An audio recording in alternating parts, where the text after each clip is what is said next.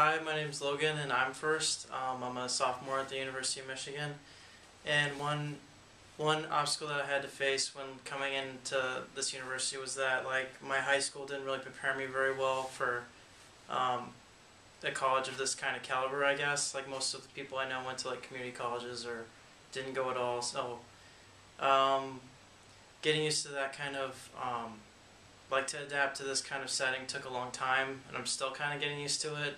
I'm sure my GPA isn't super pretty right now, but um, um, I as I get into more of my major classes, um, it it's more interesting to me, so I work harder at it, and I get seek more help through it also. So that's one thing I want to advise people on is to uh, ask for help when you need it.